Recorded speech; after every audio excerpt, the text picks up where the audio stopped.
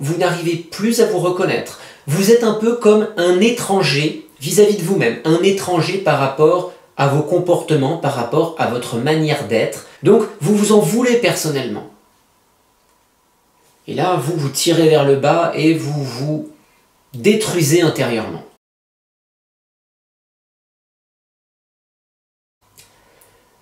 Bonjour, c'est Raphaël Pérez, votre coach en santé naturelle. Bienvenue pour ce 35e jour de mon défi, une vidéo par jour pendant deux mois. Aujourd'hui, je vous parle de sclérose en plaques et du lien entre la sclérose en plaques et les émotions. Les émotions représentent une cause importante de sclérose en plaques. Pour mieux comprendre ce qui se passe dans notre corps, il faut comprendre ce que signifie la sclérose en plaques. Alors la sclérose en plaques, c'est tout d'abord une maladie auto-immune. Qui dit maladie auto-immune dit que le corps produit des anticorps contre lui-même. Concrètement, sur le plan symbolique, ça veut dire que vous n'arrivez plus à vous reconnaître. Vous êtes dans une situation où vous n'arrivez plus à vous reconnaître. Vous êtes un peu comme un étranger vis-à-vis de vous-même, un étranger par rapport à vos comportements, par rapport à votre manière d'être, de réagir dans une situation donnée. La deuxième chose importante, c'est le terme sclérose en plaques. Sclérose, ça vient du grec scléros, qui signifie dur, durcir. Donc la sclérose, en termes de définition, c'est le durcissement d'un tissu qui devient fibreux en raison d'un vieillissement prématuré. On va dire en raison d'un vieillissement.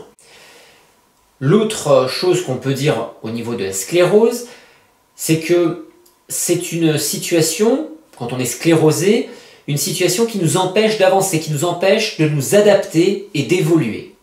Donc nous sommes bloqués, nous sommes sclérosés dans un état donné. Nous n'arrivons pas à progresser, à changer certains comportements.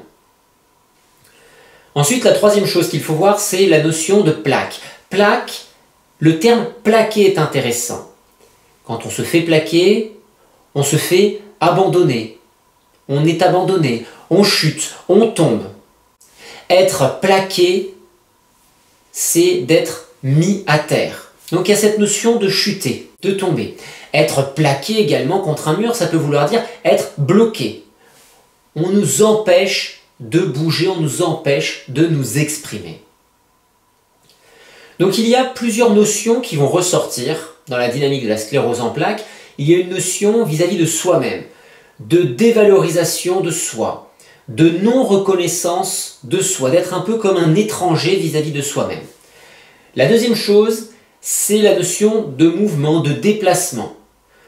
Nous n'arrivons plus à évoluer, nous n'arrivons plus à progresser, nous n'arrivons plus à changer.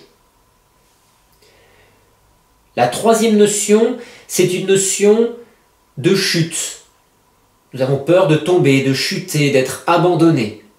Donc cette notion un peu de verticalité, de tomber, qui peut apparaître également dans la sclérose en plaques. il y a encore une quatrième notion importante, intéressante, c'est la notion de peur d'affronter le présent, d'affronter la situation qui est en face de nous. Alors concrètement, qu'est-ce que cela signifie dans des situations concrètes?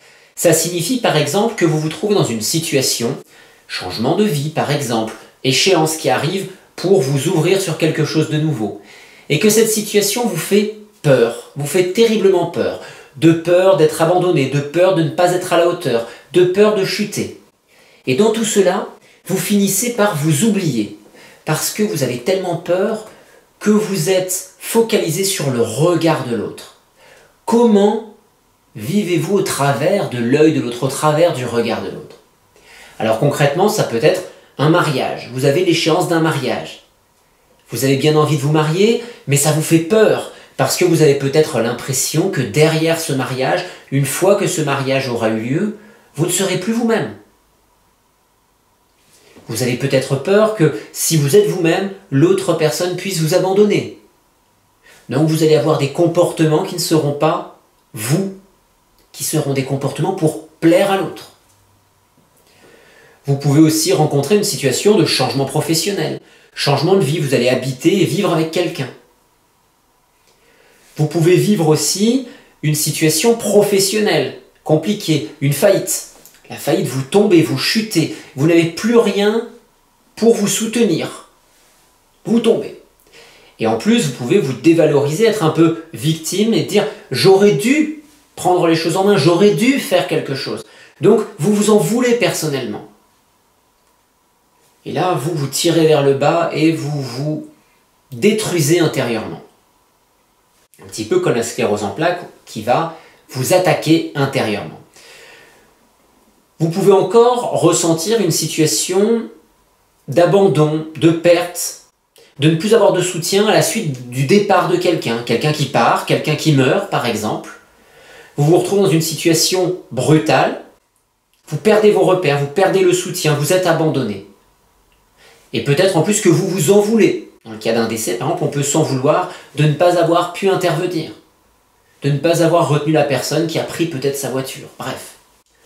On est dans une situation, encore une fois, où on s'en veut profondément, on se dévalorise profondément.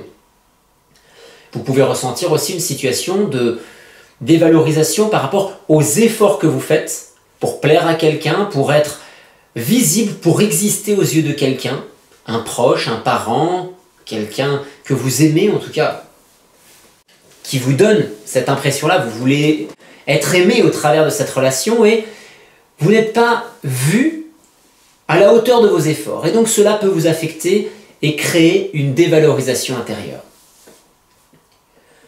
Vous avez tendance à être dur avec vous-même. Vous avez des comportements de vie dans une situation que vous ne reconnaissez pas. Vous êtes un peu en train de renier votre propre personnalité pour faire plaisir à quelqu'un ou pour exister aux yeux de quelqu'un. Alors peut-être que ces explications déjà vous parlent. Peut-être que vous ne vous reconnaissez pas dedans. Mais globalement, je vais vous donner trois questions, trois questions à vous poser pour essayer de comprendre si effectivement vous vivez une situation émotionnelle très forte vis-à-vis de vous-même qui a pu déclencher une sclérose en plaques et que vous pouvez entretenir régulièrement par de nouvelles situations que vous vivez. La première question à vous poser, c'est est-ce que vous êtes en train de vous renier? Est-ce que vous êtes en train de vivre quelque chose qui vous donne vraiment l'impression de ne pas être vous-même? Et que vous vivez cette situation pour exister dans la vie, mais vous n'êtes pas vous-même. Vous ne portez plus d'attention à vous-même. Vous portez trop d'attention à l'extérieur et donc vous n'êtes plus vous-même. Est-ce que vous avez, l'impression de vivre quelque chose de ce genre? La deuxième question, avez-vous l'impression d'être une victime en permanence, de vous victimiser? Je vous ai pris l'exemple de la personne qui a un décès, qui subit le décès d'un proche, et qui se victimise de ne pas avoir pu être là pour sauver la personne, de ne pas avoir retenu la personne, d'être encore en vie alors que l'autre est parti. Ou l'exemple encore de la personne qui a une entreprise, qui fait une faillite, et qui se victimise d'être responsable de tout ça. C'est de ma faute si je dois licencier, c'est de ma faute si il y a telle et telle conséquence qui arrive. Donc de se dévaloriser encore plus et de vivre dans cette victimisation qui vous bloque, qui vous empêche d'avancer. La troisième chose, avez-vous l'impression aujourd'hui de vivre une situation que vous vivez comme étant un emprisonnement C'est-à-dire que vous aimeriez faire des choses, mais vous vous interdisez de les faire pour vivre avec quelqu'un, pour être accepté dans une communauté, pour vivre quelque chose. Et donc cela vous donne l'impression d'étouffer, d'être emprisonné littéralement. Donc concrètement, vous ne pouvez pas évoluer, vous ne pouvez pas avancer et croître dans votre vie parce que vous êtes emprisonné, vous êtes votre propre victime, vous êtes victime ou emprisonné par la situation de vie que vous vivez sans vous exprimer, sans être vous-même. Et donc vous avez peur finalement dans tout cela d'affronter la vie qui continue à avancer, d'affronter le présent qui s'offre à vous. Peut-être que ces questions vont vous aider un peu plus à vous recentrer et à comprendre si en effet vous êtes dans cette dynamique émotionnelle, à comprendre si vous êtes concerné à pouvoir vous décharger de ce fardeau que vous avez sur les épaules, ce fardeau que vous ne devez pas continuer à porter. Vous devez accepter de vous retrouver, d'être moins dur avec vous-même, de vous recentrer sur vous au lieu d'être centré sur le regard de l'extérieur, sur ce que pensent les autres. D'être plus doux avec vous-même par rapport à cette notion de dévalorisation, de victime. Et finalement, de pouvoir regarder si la situation dans laquelle vous devez évoluer vous convient. Elle peut vous faire peur, mais est-ce que c'est quelque chose qui va vous permettre de grandir? Et donc vous devez vous apaiser vis-à-vis de tout ça pour décharger les choses. Soyez plus doux avec vous-même. Soyez dans une dynamique de progression, de croissance. Pour terminer, je vous dirai ceci, c'est qu'on peut aussi aller encore plus loin dans la symbolique, en fonction de la localisation des symptômes, la localisation du handicap qui s'est installé peut-être, ou la localisation des symptômes les plus intenses qui vont apparaître lorsque vous avez des crises, lorsque vous avez des phases de poussée. Cette localisation va nous permettre d'aller encore plus loin dans la symbolisation. Dans, dans la symbolique, nous allons pouvoir voir que si c'est la vue qui est concernée, vous allez dans une situation où vous refusez de voir quelque chose en plus. Quelque chose qui est en lien direct avec la vue. Si c'est l'ouïe qui va être concerné, ça va être plutôt le fait d'entendre. Si c'est les muscles, c'est de vous bloquer dans le mouvement, dans votre progression. Comme vous êtes bloqué, vous ne pouvez plus avancer. Donc concrètement, comme vous ne trouvez pas de solution physique à votre problématique, vous ne trouvez pas de solution intellectuelle à votre problématique, votre cerveau trouve une solution, vous propose une solution qui est une solution normalement temporaire mais de survie. Il vous bloque. Il vous bloque dans vos mouvements pour que vous ne puissiez pas continuer à avancer. Pour éviter le danger, vous êtes bloqué. Donc je vous rappelle quand même, si vous n'avez pas vu mes vidéos précédentes, que cette situation pose problème au niveau émotionnel parce qu'il y a trois choses. D'une part, l'intensité de la situation, soit quelque chose de brutal ou alors quelque chose qui est récurrent mais qui est très intense.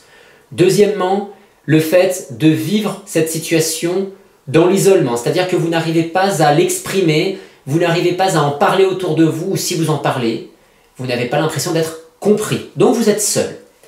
La troisième chose, c'est que vous êtes dans une situation où vous ne trouvez pas de solution. Comme je vous l'ai dit, pas de solution physique, pas de solution intellectuelle. Donc nous avons le cocktail magique pour que ce soit votre cerveau qui soit dans l'obligation de vous trouver une solution parce que pour lui, vous êtes dans une situation de danger vital. Donc il vous propose une solution, la sclérose en plaques, pour vous bloquer. Pour vous en libérer, il va falloir vous décharger du poids que vous avez sur les épaules et de retrouver votre personnalité, votre vraie personnalité, de vous accepter, de lâcher cette, dévalorisation que vous avez vis-à-vis -vis de vous-même. Alors c'était un petit peu dur de finir. Je vous souhaite une belle fin de journée et je vous retrouve demain pour mon numéro suivant. À demain